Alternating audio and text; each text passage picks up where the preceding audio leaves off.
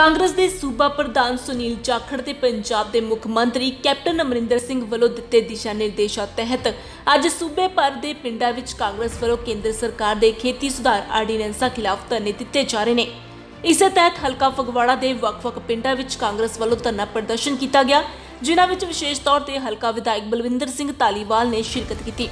ਪਿੰਡ ਹਰਦਾਸਪੁਰ ਵਿਖੇ ਮੀਡੀਆ ਨਾਲ ਗੱਲਬਾਤ ਦੌਰਾਨ ਧਾਲੀਵਾਲ ਨੇ ਕਿਹਾ ਹੈ ਕਿ ਇਹ ਬਿੱਲ ਕਿਸਾਨ, ਮਜ਼ਦੂਰ ਅਤੇ ਆੜਤੀਆਂ ਲਈ ਬਹੁਤ ਮਾੜੇ ਹਨ ਅਤੇ ਇਸ ਨਾਲ ਅਗਲੀ ਪੀੜ੍ਹੀ ਦੋ ਵਕਤ ਦੀ ਰੋਟੀ ਲਈ ਵੀ ਮੁਹਤਾਜ ਹੋ ਜਾਵੇਗੀ। ਉਹਨਾਂ ਕਿਹਾ ਕਿ ਕਾਂਗਰਸ ਪੂਰੀ ਤਰ੍ਹਾਂ ਕਿਸਾਨਾਂ ਦੇ ਨਾਲ ਹੈ ਅਤੇ ਇਹਨਾਂ ਬਿੱਲਾਂ ਖਿਲਾਫ ਪ੍ਰਦਰਸ਼ਨ ਵਿੱਚ ਕਾਂਗਰਸ ਕਿਸਾਨਾਂ ਦਾ ਹਰ ਤਰ੍ਹਾਂ ਦਾ ਸਾਥ ਦੇਵੇਗੀ। ਕਹਿੰਦੇ ਹੈਗੇ ਕਿ ਪੰਜਾਬ ਸਰਕਾਰ ਵੱਲੋਂ ਉਸ ਖਾਸ ਕਰਕੇ ਸਾਡੇ ਸਤਿਕਾਰਯੋਗ ਮੁੱਖ ਮੰਤਰੀ ਕੈਪਟਨ ਅਮਰਿੰਦਰ ਸਿੰਘ ਵੱਲੋਂ ਇਹਦੇ ਖਿਲਾਫ ਜੰਗੀ ਪੱਧਰ ਤੇ ਜਿੱਥੇ ਲੜਾਈ ਲੜੀ ਜਾ ਰਹੀ ਹੈਗੀ ਆ, ਉੱਥੇ ਹੀ ਪੰਜਾਬ ਵਿਧਾਨ ਸਭਾ ਵੱਲੋਂ ਜਿਹੜਾ ਹੈਗਾ ਇਕਜੁੱਟ ਹੋ ਕੇ ਜਿਹੜਾ ਹੈਗਾ ਇਸ ਆਰਡੀਨੈਂਸ ਦੇ ਅਤੇ ਇਹਨਾਂ ਬਿੱਲਾਂ ਦੇ ਅਗੇਂਸਟ ਜਿਹੜਾ ਹੈਗਾ ਰੈਜ਼ੋਲੂਸ਼ਨ ਪਾ ਕੇ ਕੇਂਦਰ ਸਰਕਾਰ ਨੂੰ ਭੇਜਿਆ ਗਿਆ ਹੈਗਾ। ਤੋਂ ਹੁਣ ਜਿਹੜਾ ਹੈਗਾ ਇਸ ਦੀ ਕੜੀ ਵਿੱਚ ਹੀ ਜਿਹੜਾ ਹੈਗਾ ਪੰਜਾਬ ਸਰਕਾਰ ਵੱਲੋਂ ਔਰ ਪੰਜਾਬ ਕਾਂਗਰਸ ਪਾਰਟੀ ਵੱਲੋਂ ਜਿਹੜਾ ਹੈਗਾ ਹਾਈ ਕਮਾਂਡ ਵੱਲੋਂ ਜਿਹੜਾ ਉਹਨਾਂ ਦੇ ਦਿਸ਼ਾ ਨਿਰਦੇਸ਼ਾਂ ਹੇਠ ਅੱਜ ਜਿਹੜਾ ਹੈਗਾ ਸਾਰੇ ਹੀ 21 ਤਰੀਕ ਨੂੰ 10 ਵਜੇ ਤੋਂ ਲੈ ਕੇ 11 ਵਜੇ ਤੱਕ ਜਿਹੜਾ ਹੈਗਾ ਸਾਰੇ ਪੰਜਾਬ ਵਿੱਚ ਵੱਖ-ਵੱਖ ਪਿੰਡਾਂ ਵਿੱਚ ਧਰਨੇ ਰੋਸ ਮੁਜ਼ਾਹਰੇ ਕੀਤੇ ਗਏ ਨੇ। ਔਰ ਸਾਡੇ ਫਗਵਾੜੇ ਵਿੱਚ ਵੀ ਜਿਹੜਾ ਹੈਗਾ, ਅੱਜ ਸਾਰੇ ਹੀ ਇਸ ਵਾਸਤੇ ਪੰਚਾਇਤਾਂ ਨੇ, ਬਲਾਕ ਸੰਮਤੀ ਮੈਂਬਰਸ ਨੇ, ਜ਼ਿਲ੍ਹਾ ਪਰਿਸ਼ਦ ਮੈਂਬਰ ਜਿੰਨੇ ਵੀ ਹੈਗੇ ਨੇ, ਬਾਕੀ ਸਾਰੇ ਜਿੰਨੇ ਸਾਡੇ ਸਾਬਕਾ ਐਮਸੀ ਸਾਹਿਬਾਨ ਨੇ, ਬਾਕੀ ਚੇਅਰਮੈਨ ਸਾਹਿਬ, ਜਿੰਨੇ ਵੀ ਸਾਡੇ ਚੇਅਰਮੈਨ ਸਾਹਿਬ ਹੈਗੇ ਨੇ, ਉਹਨਾਂ ਨੇ ਪਲੱਸ ਨਾਲ ਹੀ ਸ਼ਹਿਰ ਦੇ ਜਿੰਨੇ ਵੀ ਸਾਡੇ ਕਰੀਮ ਪਤਵੰਤੇ ਸੱਜਣ ਹੈਗੇ, ਸਾਰਿਆਂ ਨੇ ਪਿੰਡ ਵਾਸੀਆਂ ਦੇ ਨਾਲ ਜਿਹੜਾ ਮੋਢੇ ਨਾਲ ਮੋਢਾ ਲੜਾ ਕੇ ਅੱਜ ਜਿਹੜਾ ਰੋਸ ਮੁਜ਼ਾਹਰੇ ਵਿੱਚ ਉਹਦਾ ਪਾਰਟਿਸਿਪੇਟ ਵੀ ਕੀਤਾ ਇਸ ਵਾਸਤੇ ਮੈਂ ਸਾਰਿਆਂ ਦਾ ਧੰਨਵਾਦ ਕਰਦਾ ਕਿ ਇਸ ਨੂੰ ਅਸੀਂ ਇਕਜੁੱਟ ਹੋ ਕੇ ਫਗਵਾੜੇ ਵਿੱਚ ਉਹ ਆਵਾਜ਼ ਜਿਹੜੀ ਹੈਗੀ, ਕੇਂਦਰ ਸਰਕਾਰ ਤੱਕ ਭੇਜਾਂਗੇ। ਤਾਂ ਜੋ ਆਉਣ ਵਾਲੇ ਸਮੇਂ ਵਿੱਚ ਜਿਹੜੀ ਕੇਂਦਰ ਸਰਕਾਰ ਮਜਬੂਰ ਹੋ ਜਾਵੇ ਕਿ ਇਹ ਬਿੱਲ ਜਿਹੜੇ ਵਾਪਸ ਲੈਣ, ਤਾਂ ਜੋ ਪੁਰਾਣੇ ਸਮੇਂ ਤੋਂ ਜਿਹੜਾ ਇੰਨੇ ਸਾਲਾਂ ਤੋਂ ਜਿਹੜਾ ਸਾਡਾ ਆਪਸੀ ਸੰਬੰਧ ਜਿਹੜਾ ਕਿਸਾਨ ਭਰਾਵਾਂ ਦਾ ਤੇ ਆੜ੍ਹਤੀਆਂ ਦਾ ਚੱਲ ਰਿਹਾ ਸੀ, ਉਹ ਇਸੇ ਤਰ੍ਹਾਂ ਬਰਕਰਾਰ ਰਹੇਗਾ।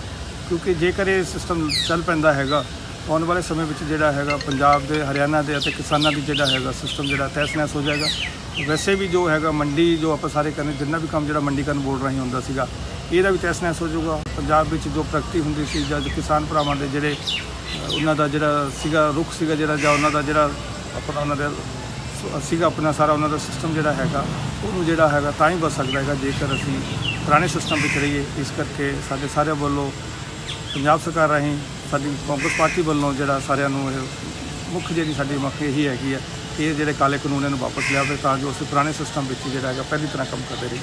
ਅਹ ਜਿਸ ਤਰ੍ਹਾਂ ਕਿ ਅੱਜ ਦੇ ਜਿਹੜੇ ਧਰਨੇ ਵਿੱਚ ਜਿੱਥੇ ਸਾਰੇ ਹੀ ਪੰਚਾਂ ਨੇ, ਸਰਪੰਚਾਂ ਨੇ ਪਿੰਡ ਦੇ ਮੋਹਤਵਰ ਸੱਜਣਾਂ ਨੇ ਅਤੇ ਕਿਸਾਨ ਭਰਾਵਾਂ ਨੇ ਬਹੁਤ ਹੀ ਉਤਸ਼ਾਹ ਦੇ ਨਾਲ ਸਾਰੇ ਪਿੰਡਾਂ ਵਿੱਚ ਜਿਹੜਾ ਰੋਸ ਮੁਜ਼ਾਹਰੇ ਕੀਤੇ ਹੈਗੇ ਨੇ ਔਰ ਇਸ ਮੁਜ਼ਾਹਰੇ ਵਿੱਚ ਜਿੱਥੇ ਵੀ ਸਾਰੇ ਹੀ ਸਾਡੇ ਵੱਖ ਵੱਖ ਸਾਰੇ ਚੇਅਰਮੈਨ ਸਾਹਿਬ ਪਲੱਸ ਜਿੰਨੇ ਜ਼ਿਲ੍ਹਾ ਪ੍ਰੀਸ਼ਦ ਮੈਂਬਰ, ਬਲਾਕ ਸੰਮਤੀ ਮੈਂਬਰ, ਬਾਕੀ ਜਿੰਨੇ ਸਾਡੇ ਐਕਸ ਐਮਸੀ ਸਾਹਿਬਾਨ ਸੀ ਅਤੇ ਸ਼ਹਿਰ ਦੇ ਜਿੰਨੇ ਵੀ ਸਾਡੇ ਜਿਹੜੇ ਹੈਗੇ ਸਿਰਕਟ ਜਿਹੜੇ ਜਿੰਨੇ ਵੀ ਵਰਕਰਸ ਹੈਗੇ ਨੇ, ਸਾਰਿਆਂ ਨੇ ਜਿਹੜਾ ਮੋਢੇ ਨਾਲ ਮੋਢਾ ਲਾ ਕੇ ਅੱਜ ਧਰਨੇ ਨੂੰ ਕਾਮਯਾਬੀ ਬਣਾਇਆ ਹੈਗਾ।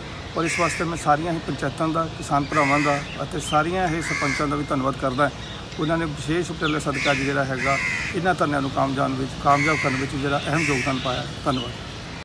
ਇਸ ਮੌਕੇ ਕਾਂਗਰਸ ਦੇ ਸ਼ਹਿਰੀ ਪ੍ਰਧਾਨ Sanjeev Bugga, chairman market committee Naresh Bhardwaj ਅਤੇ ਗੁਰਜੀਤ ਵਾਲੀਆ ਤੋਂ ਇਲਾਵਾ ਪਿੰਡ ਵਾਸੀ ਹਾਜ਼ਰ ਸਨ।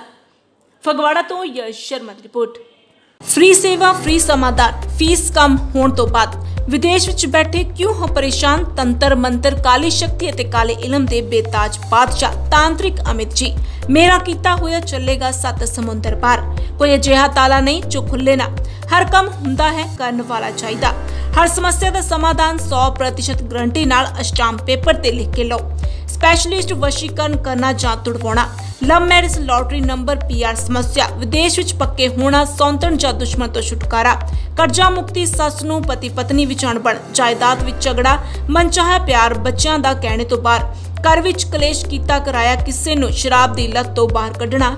ਤੁਹਾਡਾ ਭੈਣ ਭਰਾ ਜਾਂ ਪ੍ਰੇਮੀ ਪ੍ਰੇਮਿਕਾ ਨੂੰ ਕਿਸੇ ਦੇ ਵਸ ਵਿੱਚੋਂ ਬਾਹਰ ਕੱਢਣ ਲਈ, ਤੁਰੰਤ ਬਾਹਰ ਕੱਢਣ ਲਈ ਫੋਨ ਕਰੋ ਤਾਂਤਰਿਕ ਅਮਿਤ ਜੀ। ਮੇਰੇ ਤੋਂ ਪਹਿਲਾਂ ਕੰਮ ਕਰਨ ਵਾਲੇ ਨੂੰ ਮੂੰਹ ਮੰਗਿਆ ਇਨਾਮ। ਸਾਡੀਆਂ ਸੇਵਾਵਾਂ 24 ਘੰਟੇ ਖੁੱਲੀਆਂ ਹਨ। Phone number 8675 91313